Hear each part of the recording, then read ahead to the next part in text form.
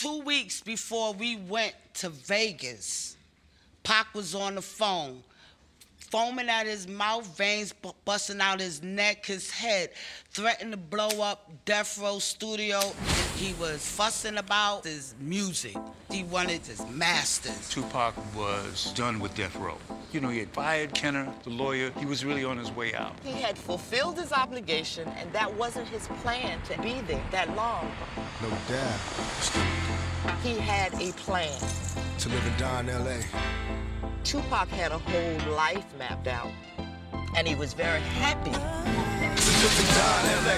Where every day we try to fatten our pockets. Us niggas hustle for the cash, so it's hard to knock it. Everybody got their own thing, currency chasing. Worldwide through the hard times, worrying faces. Shed tears as we bury niggas close to heart. What was a friend, now a ghost in the dark. Cold part about it, nigga got smoked by a fiend. Trying to floss on him, blind to a broken man's dream. A hard lesson, court cases keep him guessing. Plea bargain ain't an option now, so I'm stressing. Cost me more to be free than a life in the pen. Making money off of cuss words, writing again. Learn how to think ahead, so I fight with my pen.